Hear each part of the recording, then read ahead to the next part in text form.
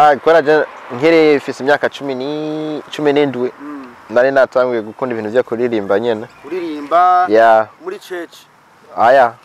Je sindigeza nja- sindaja mu ikwaya be kuko abantu benshi barimba muri church baba bamaze gutera imbere bagaca babivamo Ah, baba barire kabisa. Ah, jewe. Ya nije ndi nyuma yavyo vyose ama production ibiki okay. Eh mugumu muto hatumuha management yiwe usanga bakorana nko muri nka Sony Music urumva yeah so wewe rero ufise imiziki yawe you believe in yourself uzi yuko uri umuririmbyi ufise talent. Abantu ba- bazokunda Ba- ufise talent y'imiziki abantu bakunda. So uca uza kurondera management.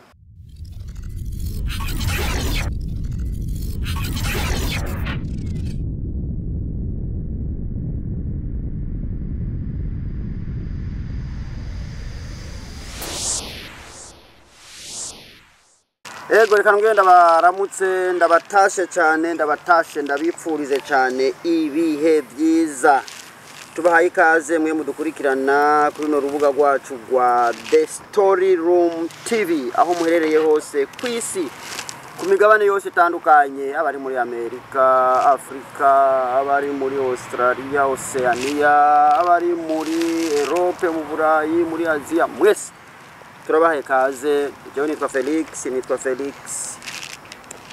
Tukabibutsa yuko eh, adorable home care bafise isare nini cyane bashobora eh, kubakotera abantu mukeneye gukoreraho imanza abantu mukeneye kuhasengera n'ahantu heza cyane kandi tukamenyesha ko n'abantu bariko baja mu burundi gufata uburuhuko mutwiture twoshobora kubafasha kubarongera uburaro bwiza mezo do passage nyinshi nziza zirahari. Imodoka yo kuyunguruza uriko uraja mu burundi n'ukuri nta kibazo. Hanyuma kandi nimba ufise umunsi mukuru cyane cyane abantu batuye muri uno muji wa adelaide ukaba ukeneye umuntu agukorera ubugari bwiza cyane bw'ubuswage. Mutwiture mudutelefone mutwiture mudutelefone muturondere. Ca tubibakorera kandi ibintu byose bikagenda neza. Umunsi mukuru wawe ukaba mwiza basi n'izindi gahunda zigakomeza. Uno munsi rero turi kumwe n'umuntu adasanzwe. Turakira abantu benshi turakira abantu batandukanye ariko uno munsi twazanye umuntu wundi adasanzwe yitwa nde? Ushobora kumwita producer man. Vipi eh ni man. Amakuru y'iminsi mbwa asa ni fresh. I Melbourne barakomeye. Yeah barakomeye man. Abantu rero mutuye Melbourne mukunda kudutemberera cyane muri Adelaide ariko ntimushake kwimukira iwacu. Tuza gukora ama business gusa imisore iza kurondera inkumi hano. Urumva? Abantu bose baza ku- ku- ku- ku- kuza gukora utu business hano baza mugabo kugira mwimukire hano mu mujyi wa Adelaide wahezagiwe ntimuzi sinzi ico muduhora. Hmm? tuzi ko turi kuri city boys man. Turi eh? City boys. Muri Melbourne ni cyiza caho kinini gituma muhakunda cyane n'igiki market man. Bira bira birasanzwe n'ibintu ukora yeah kuri jewe market yo ku bintu nkora iri big hariya muri Melbourne so. Okay. Yeah so ibintu ukora tuza kubivugana mu kandi kanya ni cyo cyatumye tubarondera urabona abantu nka bamwebwe muba mumaze gukomera iyo tubahamagaye hari igihe usanga mufite ikintu cyo mwotubwira cyangwa mwoganiriza abadukurikirana kandi ugasanga biraryoshe turahakuye icigwa eh? twe runo rubuga rwacu rero twitangira inkuru tuganira inkuru mugabo zigamije kugira ico zimarira abantu zigamije kugira ico zigisha. Sibyo none yeah. Eh biraza rero. Yeah birazanye kariri tukwakiriye hano ni rya mbere. Rero abadukurikirana bava bashaka ko bokumenya bamenye nimba uri umusore. Kuko turafite n'inkumi nyinshi zidukurikira. Bamenye nimba uri umugabo eh, kuko turafite n'abana benshi badukurikira baba bakeneye abantu b'abapapa babaha impanuro. Yeah nimba uri umupasiteri ibintu nk'ibyo tukabimenya kariri nsaba rero Jenny fresh bro. Kariri umwidondoro wiwe n'umuntu ki? Kariri ibyo bimeze gute? Ah jewe ko yabivuze je nitwa Khalil. Mm. ndi umu producer wo ngaha muri Australia. Mbwa navukiye mu Burundi nakuriye ngaha. Wavukiye i burundi kandi uri umwana mutoyi. Ya naje ngaha mfise imyaka ndwi so imyaka nde ya. Nagomba ndakubaze ngo uhamaze imyaka ingahe? Hari abantu benshi badakunda kuvuga imyaka yabo rero niba bavuga ko waje hano ufite imyaka ndwi ukaca uvuga ati ndahamaze imyaka ingana uku uca tumenya imyaka yawe. Niba wengera ntufite yo kuvuga imyaka yawe abakobwa cyane cyane barakunda kuvuga imyaka yawe. None imyaka umaze kuba umaze kuba umucelebrity none ibintu byawe ntibija bija kuri internet. Eh, abantu baragenda kubisearching. Abantu baca bamenya ibintu byose biza hanze. None woreka kubivuga kubera iki? Bikaja ku karubanda tutatu bimenye eh, ba Chris Brown bose abantu ko bazi ama age yabo so. Umaze imyaka ingahe rero hano? 22 years. 22 yeah. Oh my gosh. Uri hano? Ndi ngaha. Ah! Ni ukuvuga 2001 uh, I believe je ko ndavyi ko ndavyi uh, Ko ndavyibuka I think twaze kuri muri 2004 2004 yeah Mm. yeah. Ah ico gihe uraza hano narindi jewe we wari mama mama nari mu bukene budasanzwe. Ico gihe mama mama nta n'umuntu yonyipfuje kabisa. Mm? ni washitse hari igihe umuntu aba ari mu bukene. Abakene bagenzi we bakamwita iwe kabisa naho twese dukenya ati wewe kabisa ubukene bwawe burarenze eh? Ibintu nk'ivyo yeah. Basi kari tuguhaye kaze hano kuri The Story Room TV asi murakoze. Tukaba tunagushimiye ko watuvugishije ukavuga ko ukeneye ko twicara tukaganira. Kandi nanjye nabonye ari byiza ko nabonye umenye ibyiyumviro byiza turagushimiye cyane asi murakoze. Eh, karibu kandi no muri Adelaide. Ah murakoze cyane rwose. Eh, kariri ni umusore cyangwa arubatse? No comment. Rero kenshi iyo uvuze uko. Eh. Abantu baca bumva igisubitso biravana. Uzi ibyo abantu baca biyumviye? Eh. bashobora kwiyumvira ati uwo ashobora kuba afite umugore mwe bakaba babanye nabi. Urumva? Canke bashobora kuvuga ati uyu muntu eh, birashika akaba afise nk'abagerefurere nka batatu cyangwa bane. Akaba adashaka kuvugisha ukuri ngo abantu bamenye ingene ibintu biha- bihagaze.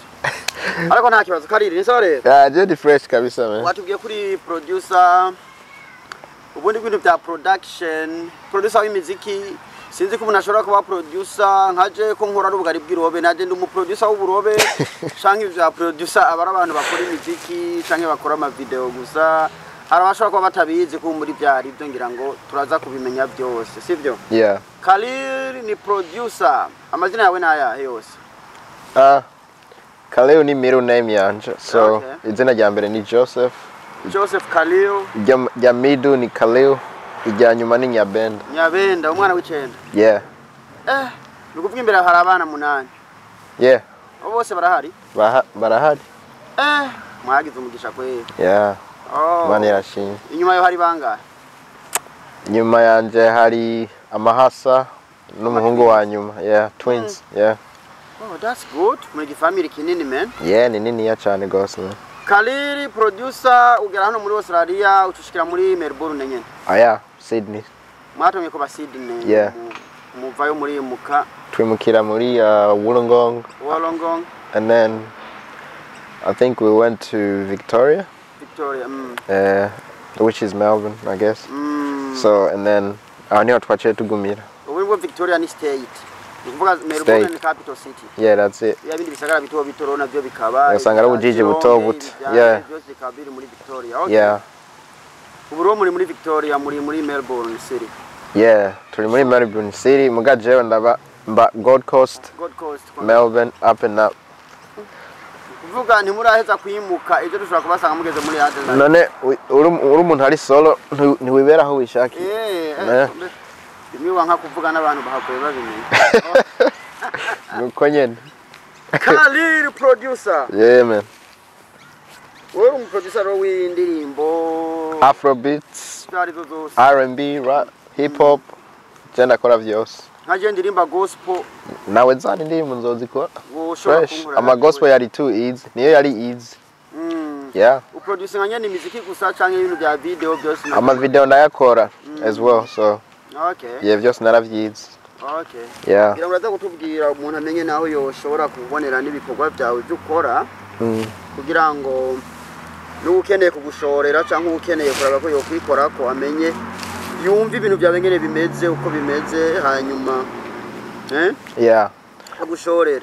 Yeah urashobora kugenda kuri page yanje ya instagram oh ndafise umutoyi wanje nyene ni waririmba aririmba so okay. eh, ibintu vyiwe byose ni- tubishaka tubishira kuri page yiwe. Okay. Yeah so eh, umugomba kumumenya yitwa daniel bukuru. Daniel bukuru. Yeah. muri youtube nuko nyene Daniel nuko nyene. Daniel bukuru muri spotify itunes.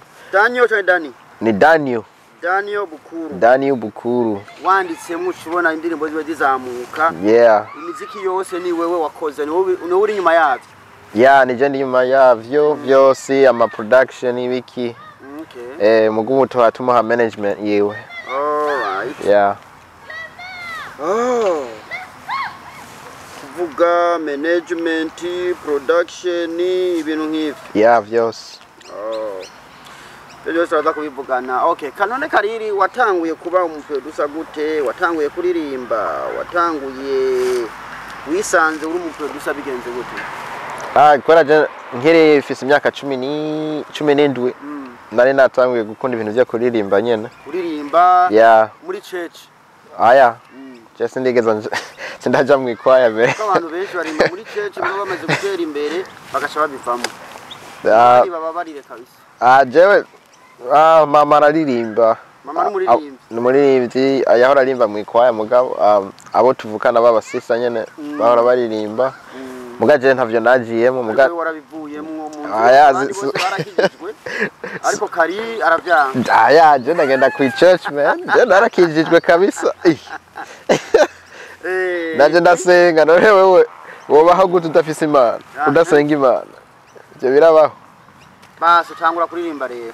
Eh, je ntangura kuririmba nyene mbona bintwara amahera menshi kugenda kurekodi mu masitudiyo Mm. abazungu nyene baducaje amahera menshi biki n'ibiki ngize ati sa ntangura kwiyumvira nyene ngize ati basi reka Mm. naje ndavyige naje bibakora nobikora kubera iki? So naciye ngenda nyene muri ndaciye ngenda nyene muri university ndavyiga so kw'ishuri ubu rero wahejeje university mu bintu bya production. Yeah narabihejeje kera kera cane. bya sound engineering ibintu nk'ivyo yeah. Mm. yeah. Umuntu ahejeje university ni degree yitwa gute muri ibyo bya production? Bavyita sun Pro- sun production certificate 5 i think. Yeah. Media you can do media biravana n'ivyo wama gukora yeah. media hari abasanga baja muri bya sound engineering. Sun production yeah. Sound production ibintu nk'ivyo yeah nuko nyene okay wewe gusa ugafata spe- specification runaka uba wifuza kuza yeah yeah. Ibindi vyose naciye ndavyigira kuri youtube kwe. Okay. Yeah. None nk'ubu u- uri self employed ukora wenyene mu rugo ah yeah jeni jeni nkora njewe nyene man. Mm. Yeah. Ugafite studio yawe ugakora yeah. Udakoze utabaye self employed nk'ahandi hantu umuntu yokora akazi mu gihe yivye ibintu nk'ivyo maybe nk'abajya aba professional DJ nabo barashobora kuba bize nk'ibintu nk'ivyo yeah. Oh yeah. Biravana man. Like kubera ubu turafise youtube Mm, abantu benshi usanga bagenda kuri youtube bakiga ibintu. Mm, kuri youtube kubera uhagana kuri youtube ukaraba hariyo amavideo menshi nyene yakwereka ukuntu bikora yaraguticinga nyene. ku- nyene kugira nko kuba umu DJ baraguti- baraguticinga nyene nko kugira ibintu by'imiziki. Yeah. nyene ugasanga wabaye n'umuntu ukomeye mu ntuze. Yeah. Okay. Yeah. Urize rero uraheza amashure ushigana kwikorera ntiwagenda gusaba akazi. Wayi ah oya je nakunda kuba self employed man. Mm. sinkunze gukora gukorera uwundi muntu je nkunze kwikorera kuba self employed ni byiza cyane gusumba ko ukorera uwundi. Yeah you make too, a lot more money than uhayikorera umuntu. Yeah so u- you have to learn how to gukora ibintu vya business man Mm, ntituzoguma tumeze kudukorera abandi bantu man. Ukeneye kwikorera vy'iwawe nyene ukugura ama business iwawe kwikorera vy'iwawe nyene. Umuntu akikorera Yeah. nyene bika akikorera ibintu vyiwe nyene. Yeah. Ariko kuba self employed abandi barabitinya kuko usanga bigora kuzoronka abateja. Kugira ngo business yawe izomenyekane usanga ari ibintu bivuna bigora wowe wabikoze gute kugira ngo wisange ufite abantu ba- ba- ba- um, biravana n'ama connection man. Mm. n'ama connection biravana n'abantu uzi bari muri iyo industry nyene. Kuri jewe nje mfise ama connection menshi kabisa. Uzi um, ibintu bya connection ari zo na byo dukunda kugira ko ikibazo cyangwa abandi nabonye benshi? Ushobora gusanga abantu bafite impano mugabo bakabura aho bawuca aho bawudodora kugira baronke ama connection wewe wabigenjeje gute? Ah, nk'uko urinze ugenda mu ma festival basi tuvuga uko. Mm, urashobora guhura nk'abantu bari muri ibintu bya sound production. Mm, Eh, uragenda ukavugana nabo nyene mukamenyana nyene. Sometimes hari aho muhana amanamba muka- ugasanga mu- murahuye nk'ahantu akaku inviting muri studio yiwe nyene mukamenyana aho nyene. Urumva ugasanga murako eh bigaca bitangurira aho nyene mukatangura creating a relationship nyene uko nyene. Eh usanga bigenda uko yeah yeah. Okay ndiko ndabyumva. Yeah, ndabyumva no, ndiko ndabitahura none rero uratangura urakora ubu ukora production gusa nta kandi kazi ukora ku ruhande. Ah yeah hari ibintu nkora. Nkora ibintu byinshi be. Yeah. Je nta muntu nkorera bro. Mm, Nah. ibintu byose ukora ni we wikorera. Nda ndafise aba partnership nyene uko nyene so. Ndariho n'ibintu nyene byinshi by'ubundi buzi nkora ah, bitari muri music industry nyene. Mm. yeah different thing. Ariko ibintu bya production kumenga bijanye n'uko umuntu aba azi kuvuza ibintu bya instruments. Tuvuge murabona umenga ushobora kuvuza instruments cyane byose kubera ari ibintu bya technology bigezweho byose mukoresha computer bigakunda. Mm. nawe uba utazi kuvuza instrument utazi kuvuza piano utazi kuvuza guitar wowe ushobora gukora production bigakunda. Yeah. Nibyo? Yeah ibintu gusa ukeneye ku understanding n'ama n'ama key Mm, keys. Kamya ati key. Yeah. Bigenda ku nkomba ininga ngukunge yeah. Ukeneye ku understanding ibintu vya major minor umaze kubi understanding ivyo amapiano ntiyigura yapiga you can do it on a computer. Urashobora kubikora ku computer kubera computer zirafise ama ama programs ni ibintu gusa clicking clicking clicking ukaca creating a beat Mm, Yeah, nuko bimeze, yeah. Yeah, yeah yeah. Okay. Mm. eh. Yewe yewe ibintu by'ubuhinga bwa none aho bugeze kera hari umuntu yavuga ngo amasudiyo ya kera gukora umuziki abavuza bose baraza n'ibitari mugafata mukavuza Mm. kavuza nimba mugeze hagati hakaba umuntu akoze ikosa byasaba ko mwongera gutangura. Kari Yeah, uratanguye rero urakoze biti yawe ya mbere urayibuka biti ya mbere uba warakoze yari imeze gute? Um, si- sinatanguye ku man. Eh. natanguriye ku bintu bya sound engineering. Mm. yeah so sound engineering ni tuvuga ni nk'umuntu agira ibintu bya mixing mastering. Eh, yeah. Ndakora amabeat nyenara mixing aka mastering. Mm, ivyo nivyo natanguye kwiga mhm. yeah, ivy'amabeat vyo ciye biza later rero ni ho naciye ndavyiga gushasha. Kuko ibintu bya music hari abantu benshi babikora ukamenga biri boring kuko na music icyo nzi iratwara umwanya bisaba kwihangana bisaba kumugerageza ukagira ande mm. byagenze gute ngo wisange ubikunze gushika n'ubu? Uh, wumva mbe umaze imyaka ingana iki ubikora? Ah, ibintu ama- imyaka watanguye nka ryari kubikora? Nari mfise imyaka cumi n'umunani. Mm, niyo nabitanguye. Ukava ubimaramwo imyaka rero cumi irenga icumi irenga yeah. Mm. Ni igiki cyatumye wumva ubikunze ukumva umenga niyo mpano yawe ukumva ariyo passion yawe ukabikomeza Um, je ndiyumvira yuko muri family iwacu turafise music talent Mm, so i think biri mu maraso man mm. yeah biri mu maraso murabikora kandi mukabikunda Yeah. Murabyishimiye kandi biraryoshye. Yeah yeah. Kenshi hari ababikora ukabikora mugabo ugasanga nta bantu bakwitura. Mm. ibikoresho byo mukoresha ugasanga biri very expensive.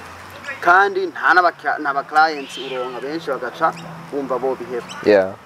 Niko nkunda kubona benshi bikunda ku- oh kubagendera. Urumva uri umuproducer nyene azi gukora ibintu. Mhm, umaze gukora umuntu ikintu. Mm, aragaruka aguma agaruka aka- akabarira n'abandi bantu. Yeah then you creating customers and connections so yeah. uh, aca barira abandi bantu ati "Um, nyene umuntu arazi gukora ibintu Mm, you know Abantu ara recommended yeah ara recommend arababarira ati uyu niwo muproducer nyene mbona ari mwiza azi gukora arazi ku mixing no ku mastering nyene arazi gukora vyose abikorera hajya nyene on spot. Mm, eh so abandi bantu baca baza nyene baca baguma bazi wawe bazi wawe bazi wawe. Kuri jewe niko vyabaye kabisa. Abantu baguma bazi wanje bazi wanje wanje kubera barakunda akazi nyene nkora abantu baza Yeah. iwawe ni abantu b'i melbourne gusa abantu bo mu burundi baraza abantu bo mu yandi mastate muri kino gihugu baraza bigenda gute? Abakiriya abaklayenti bawe bava hehe ah abakanti nyene ni abazungu baraza ndakorana n'abazungu Mm, abatongen bakaza kuhakorera amabiti Eh, most of them aba- bazi gukora ivy'iwabo nyene baranzanira beat bamaze gukora nkagira mixing and mastering gusa. Okay. so yeah. Mm, nuko nyene. Eh, market nyine yiwanje iri mu bantu bose. Abantu bose nyine baraza? Yeah baraza. Okay. Yeah. Vuga ni iki gituma utagivinga up? Usubira inyuma. Um, ukunda akazi kawe man. Woheba gute? Mm, je ndaguha akarorero je aho na- nk'ibitanguye ibi nta bantu nari mfise. Mm, nawe nahora ndekoda abagenzi gusa. Mm, nta mahera nariko ndabicamwo kubera ni ibintu nyene nari nkunda. Mhm. so je ndagomba nkorera abagenzi nkorera abagenzi nyene. Ni motivation yanje nyene kubera abagenzi nabona bakora imiziki nyene ngize ati basi reka ndaba reka ndabakorere for free. Kora n'abagenzi biwanje so nyene nguma ninkorera ibyo nkaguma nkora nkora nkora. Nta muntu yandiha nta na kimwe so Mm, iyi we guma ukora gusa guma wikorera ibindi biraza imbere. Mm, urumva you don't give up yeah. Okay. Yeah iyo ni example gusa nda- ndakubarire you don't give up you keep going. Uguma ubikora gusa uguma ukora uguma ukora.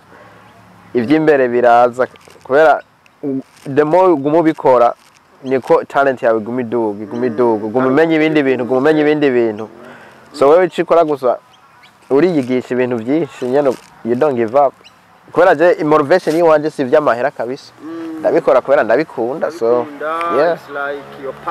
ni passion. Yiwanje nawe utoronka amahera wumva umenga je ni fresh. yeah. Je ni fresh kabisa iby'amahera je sindabiraba sindabishira imbere. Eh iby'amahera ndabishira inyuma. Biza imbere nyene niyo na, improving.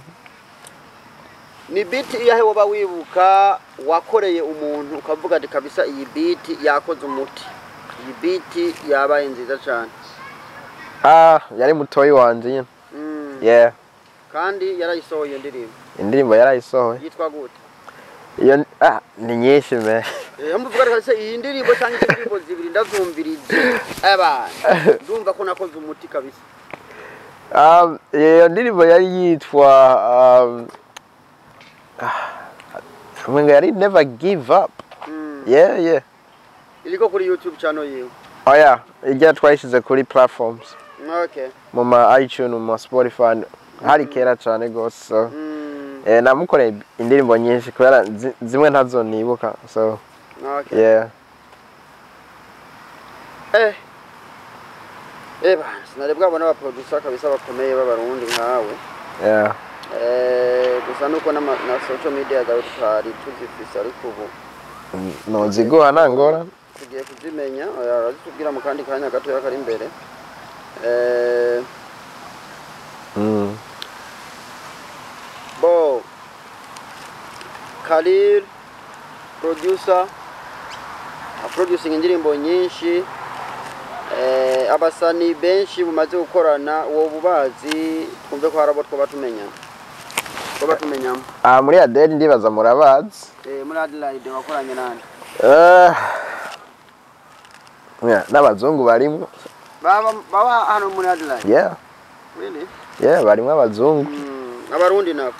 Abarundi nyene barimwo abo twatangu aho kiye gihe nyene ntacaginga amahera. Mm, tuvuge nka fikiriya sinzi ku munsi. Fiki fiki twaramwakiriye ngaha. Eh arakora ikiganiro kiratubika yeah fiki fiki aka rafiki yeah man mm, yeah nahora namu yahora ndungikiranye n'utuntu utuntu nkamukorera mm. uwundi nakoreye indirimbo ni David Bako David Bako. yeah Okay. uwundi ni Uncle Johnny Uncle Johnny, yeah, Uncle Johnny. that's my homie Mm. yeah ba Uncle Johnny warakorere yeah that's my brother man Okay. yeah yeah and Little Nafi eh bana afutari bose ba Naftari ba the, Jerry Brown bobo.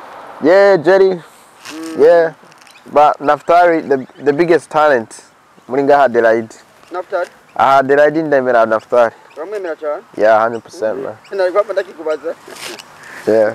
Naftali ni we wemera 100% talent. Talent wise uh, kudelivinga ama vocals. Yeah 100% man. Nafutari yeah. Niwo mbona yogenda fa abasani bo mu burundi wowe wemera n'uwahe uvuga kabisa uyu munsi twohura tugakorana umuziki vyonjohera kubera iki? Um bariho ni benshi ndazi n'aba- n'abatamenyekana. Um abo wemera kabisa uvuga ati uyu muntu ndumva aririmba neza korera ibiti ndumva vyocamo eh bamwe niribaza ni nka uramwemera? Sabi na Fizo? Yeah. Abo nibo nobona nje nokorana. Mugabo sinashobora ku- kuconfirming yet. Yeah. Kubera iki satbi kubera iki fizo? Eh? Kubera iki satbi cyangwa kubera iki fizo ari bukunda cyane? I think bene barazi ibintu vya marketing vy'imiziki barafise bazi market ico bakora bari serious. Barafise marketing nziza so barafise nk'ama mana- nka management. Abantu nyene bazi gukora ibintu as a business you know? Mm, bafata umuziki as a business uko bakora ni business. So abo nibo ndabona je noshobora gukorana urimbo ne indirimbo. So but yeah we have something coming too. Turafise ikintu kihakiza mm. soon. Muzokorana nabo? Yeah biracari muri process. Sin- si- sinshobora kubiconfirming nzobikubarira. Okay. Yeah mugabo yeah something is coming. Oh. Get ready. That's that's good. Yeah. Urumva hari ikintu kiba kirategurwa ushobora gukorana nabo Yeah. basani bakomeye bo mu gihugu cyacu cy'u Burundi. Yeah biha birazi that's good. Yeah. Oh. None rero. Mm. mu muziki mukora hari ibintu bita ngo management. Mm. kenshi dukunda kutabitahura kumwe n'abantu ushobora kumva umuntu umwanya mutoya ngo mfite management. Yeah. Ubundi ngo mfite management. Ibyo bya management bikora gute? Esike mu manager uramwironderera arakurondera? Mm. uno munsi kariri urafise management? Management iri muri process turatuba turadukora group. Mm, eh so ugomba ku ibintu vya market. Mm, umu, artist kuba kugira amenyekane neza. You need a management. Urabona abantu aba artist benshi ngaha muri Australia reka basi tuvuge nka- nk'abarundi nka twebwe. Ntiba understand ibintu vy'imi- vya marketing ntiba understand ibintu management mm. wowe ugomba kugenda kuba kure. You need to have a management. Urumva? Ukeneye kuba- ukeneye kubana itimu urumva? Itimi igufasha. Itimu igufasha itimu igushira imbere. Bakagufasha Yeah. ibiki kukuronderera performance kuguha amahera. Koje nka je ndi hano nkunda kubona abana benshi bari mu Burundi kubera ko indirimbo imwe. Agatangura kunyandikira. Ngo urabona ngo nkeneye management ngo mbere manager Mm. ugirene uvume nga hamwe mwe birancanga management rero iyo team ya management ikikora gute ikikora iki? Urumva umumanager ni umuntu akuronderera amashow. Umumanager umuririmbyi uririmba akarondera amashow. Yeah. Umuproducer akakuronderera aba abakiriya umuproducer ko ni ugukorera gusa indirimbo niwo muri studio. Uwo ni umuntu akora nyine muri studio. Muga umumanager umumanager n'umuntu akora ibintu vyiwawe vyose wewe wewe ukaca ugenda gufocusinga ku bintu vy'imiziki aragukorera in a background. Akakuronderera amatour akakuronderera amashow aka organizing nyene. Ara umumanager n'umuntu aguspending amahera aku invest. Urumva? Uva nk'umuririmbyi no muri studio manager ni wagenda akarira. Mukumvikana ibyo muzogabura bizova bivuye mu uwo muziki yeah yeah umumanager ni we akurihira studio session umumanager ni we akurihira ama, gukora ama video kubera abahara investing amahera kuri wewe kubera ababona opportunity yo ku making amahera kuri wewe so ajya amahera guspendinga kuri wewe azoya making a back arashobora Muba- mwahanye amasezerano Yeah. ukora uku je nzoronka uku nzoronka iyi percentage yeah yeah nuko nyene nuko nyene bimeze Okay. nico gituma mbarira aba aba artist. Wagomba gushika kure you need to have a management you need to have a team. You need aba artist bacu babura management nyene kuko ushobora gusanga bataramenyekana. Ukumva utaramenyekana sinoza kukubera umu manager ngo ngene spendingamo amahera yanje n'umwanya wanje niki kandi mbona ko ata kintu nzovanamwo ngira niyo niyo mpamvu. Urumva aho ni ho bigoye. Mm, Ah, sinzi ukuntu nabivuga mugabo reka ndaguha akarero nkawe uri umu manager. Mm. eh? Ukagenda kurondera umuhungu azi kuririmba neza. Mm. we ntushobora umaze kumuronka ntushobora kuvuga ati ah uyu muhungu azoshika kure. Ijya talent ijya talent yiwe y'umuziki i believe. Mm. urashobora kubelieve ati hazova umuhungu azovamwo ikintu azo- azovamwo azoshika kure cyane Mm. Reka basi je ndamupushinga fume spending amahera ndamu investing ndabe ko yoshika kure. Koza amaze gushika kure. Urumva nawe rero amahera uca utangura ku making amahera wa, wa spending so Mm. you just have to believe ukeneye kubelieve ati uyu muntu. Ndabona ko afite Yeah. impano ndabona ko ibintu bishobora kutomera neza. Yeah. Reka tugendane dukorane. Yeah. Ubu ubu muri iki gihe sicyo kimwe na kera. Kera gusa wararimba nko mwibarabara ugasanga umuntu nk'umuproducer aragukunze byo hararimba mwibarabara akaca kubera ati reka basi ndagusani eh, ubu ni different. Mm. eh, ubu ni we uza kwirondera ama management ubu ni we uhamagara ufata isimu ugahamagara ati ngomba ngomba we managing urumva kera kera gusa aba manager nibo barondera aba artist. Mm. urumva ubu biragoye nyene. Umanza guhamagara urarondera aba manager kuri internet ama company biki ukaba bari ati "Na- ndiko ndarondera mu management. Urumva nabo baca bakora ati turungika indirimbo yawe. Bakumviriza yeah. Gukorana bimeze gute bigenda. Yeah bamaze kuburi bamaze kubona yuko ufise potential. Bavuga ati nuze tugusani muri management. None nk'ubu umuntu amenejingwa n'amakampani cyangwa amenejingwa n'umuntu umwe ku giti ciwe. Nk'ubu ndi umurinzi nkavuga ati nkeneye kongera management hano muri australia. Eh. Wowe wavuze ko biri muri process. How do you go about it? How do you start the process? Aba manager barahari kuri internet Yeah. umuntu yobarondera gute? Google. Just ugenda kwandika nka management music music management. Mhm. yeah. Ukaca ubona ni benshi. amakampani abantu ni benshi. Yeah no muri Adelaide ngaha bariho. Namaze ku, namaze kubona ama company ngaha muri Adelaide yeah. Okay. Usanga bakorana nko muri nka Sony Music urumva. Yeah so wewe rero ufise imiziki yawe you believe in yourself uzi yuko uri umuririmbyi ufise talent. Mm. abantu ba, bazokunda. Ba, ufise talent y'imiziki abantu bakunda. So u- uca uza kurondera management urumva? Nibo baza bagupushinga bagupushinga bagupushinga ivyo yemwe ntabyo narinzi pe ntabyo Yeah. narinzi. Uno munsi Khalil umaze gukora imiziki kandi myinshi utegekanya iki muri iyi minsi ya hafi waba hari ibintu uriko urakora abantu two kwitega Ah, ibyo mpande akora Mm. ye biriho bihabitse Mm. eh tugomba dusohoze ururirimbo n'abahungu bo ngaha muri Adelaide rurimo aba- abaririmbyi benshi bazohuriramo yeah icyo iyo group yitwa AC5 Mm, Eh. 85 yeah. Ni group igiye gukora indirimbo imwe canke izokwama ihari igihe cose um nabahaye basohoka ni bashasha I believe aba barafise talent ikaze kabisa. Kandi bazokomeza kuba bari kumwe. Yeah yeah. So ngoma sohoze project nabo nyene. Bari hano muri Adelaide bose ko tutaramenya ngo tubavugishe. Canke bari Melbourne. Baraha nyene mugabo u- uwo azo featuring n'umujya mutoyi wanje. Okay. Yeah so indirimbo iriho twariko turayikora n'uno munsi. Mm. Hasigaye gukora video gusa kuri YouTube yeah. Okay. yeah. Oh that's good that's good. Yeah.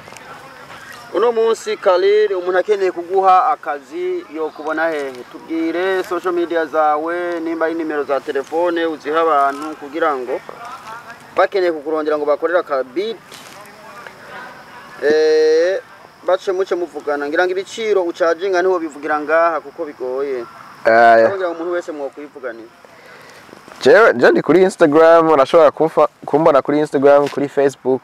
Ni Karibu Nyabenda nyene nuko nyene? Khalil Nyabenda nyene Yeah. Instagram Facebook. Yeah Instagram ni official Khalil underscore PG uchumbona official Khalil yeah underscore. underscore PG that's it. Cha tukubona. Yeah. Se abantu bangana iki ngenda kurara ubu ndi kuri 7 7000 kuri your personal account? Yeah, Yeah. yukorera ku nyene yeah. Okay Khalil Nyabenda. Khalil PG okay nimero yawe ya telefone yiha abantu rero bazokurondera nimba udashaka ko. Ah, wavuze official Khalil of, of, official Khalil mm. underscore PG cyangwa wandike Khalil Nyabenda bila ucubona page yanje official Khalil underscore. Why? Waye niyo nyene eh urafise ibihumbi indwi ga naje ndakongera Joseph Nyabenda. Yeah. Ah. turaha man. Tanga nimero yawe rero tanga nimero yawe mugabo abakobwa kabisa ntubakira cyangwa kurondera kuri Instagram. Je ndi kuri Instagram nga inomero mugomba no worry mbuga ni business number. Ufise ama project. Mm, keneye ko mwokorana yeah just hit me up 0422371185 hit me up. Nkuko kuntu yivuze kwe umuntu atagihagarika ibiganiro bukebu rero ntiwandika kuri screen. Andika kuri screen. Okay nta kibazo ndaza kuyandika ndaza kuyandika eh, Khalil Khalil akoresha ibanga ijyaye kugira ngo ntacike intege. Ah mu bikorwa akora. Iyo question yawe icyo kirundi cyawe na- what's the secret for you not to give up? Secret for me not to give up? Yeah. Ah. Je icyo navuga gusa uguma ukora ivyo urakora gusa uguma ubandanya ntuhagaritse ntiwumvire by'abantu bakubarira. Iyo ukoreye ikintu umuntu akavuga ati ngo ntacyo yakunze. Ntubyemere. Ukeneye kubelieve ku bintu by'uhawe urakora. Icyo navuga gusa we gusa uguma wiga ibintu bishasha guma wiga ibintu uguma improving urashika kure uzoshika kure kabisa. Khalil iyo abantu bamuciye intege abyifatamwo gute? Kugira ngo ntagivinge up ah iyo wanciye intege abantu baragucira intege kabisa nyine bakagu- ba- bakagudiscouraginga ukumva nyine umenga ibintu wobiheba. What do you do? How do you cope with people? I don't listen to them. Sindabumviriza. Mm, oya bumviriza yo gusa urakomeza je ndakomeza gusa. Sinumviriza ikintu cy'umuntu yambaye kibiki ibintu bibi. Eh uhaye mbariya yango je ntavyo nzi sindakumviriza kabisa. Kubera mbamenya mbamenya reputation yiwanje nge- ni imeze so nishobora kumbari ati ngo je ibintu by'iwanje ntibimeze bimeze nabi ngo biki no. Genda kuri google andika izina ryanje urambona ibintu maze gukora. Kali! Ibintu bya production kali ukeneye kuzobikora gushika ryari Asha, ibyo ntibizova bwawe ni bwo buzima bwanje man okay yeah. Eh, Khalil ndabona ata bindi byinshi nokubaza niba ata kindi bona twibagiye twari kuvuga mbere yuko turangiza uwo kitubwira Ah, twabivuze byose nyene. Ni- nimba nimba wowe ufise question ku bintu utambariye fresh urashobora kumbarira nka- nta bandi bapatina b'abaproducer mukorana. Bariho. As a partner hariya nyene Melbourne. Bariho no muri Africa na mukorana muhanahana ivyiyumviro ati bimere uku tugire uku Eh. no koriki. iki eh je ndafise umugenzi yitwa Gigabit. Okay eh number one in Burundi. Mm, that's my brother. Shout out to my brother Gigabit Gigabit. That's good. Yeah yeah. Uwo ni wo producer wa mbere mu Burundi nemera kabisa. Okay yeah that's my brother. Wowe na cyane gose ni family Khalil tugushimire cyane wari wavuye Melbourne uje gutemberera inshuti zawe hano muri Adelaide no gukora ayo yandi mabiti video production hano. Ariko akanya gato twagusabye wakaduhaye kugira ngo tuganirize ibikorwa byawe. Turagushimiye cyane ku mwanya wawe. Murakoze kabisa. Ngira ngo niba wasubiraho ugaruka ikindi gihe hano muri Adelaide uzotubwira ko waje kugira ngo yeah turafise show haiza muri Adelaide when? December. Disima yageze uzogaruka? Nzogaruka tuzoba tuzaranye na mutoyi wanje turaza ngaha muri Adelaide kwita amashomo mutari bwabone. Mutari bwabone. Man let me know when you come back man. 100% man. Mm, okay. Sawa yeah. All goods man. Okay sawa bye. No worries.